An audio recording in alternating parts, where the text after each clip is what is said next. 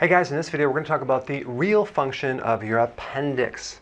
We've been taught that we don't need the appendix. It's an extra thing that we can remove without any problem. But it actually has a critical uh, function.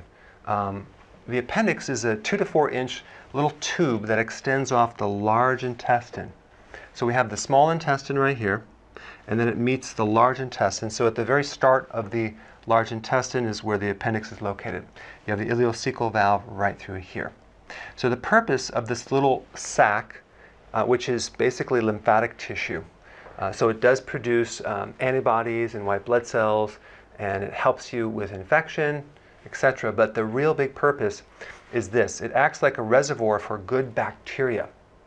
Uh, in case you need to repopulate the colon after diarrhea, after antibiotics. And the reason why I think people get sometimes get it infected where they have to remove it is because they're just their diet is poor. They're eating a lot of sugar. So if you're following my recommendations, um, you're probably not going to get appendicitis. And there's one more point about the appendix, and this is just a little extra little tip. If you had the appendix removed, okay, a lot of times you'll develop scar tissue in the right lower abdomen area. And I found in practice, working with a lot of people, that scar tissue can somehow obstruct the nerves that go down into the right leg, into the knee. So there's a connection between appendix removal, scar tissue, and right knee pain.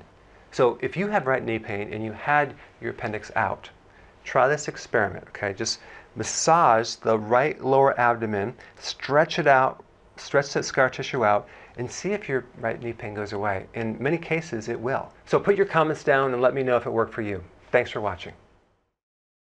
Hey, if you're interested in finding out the underlying cause of your body issues, click the link below and take the evaluation quiz.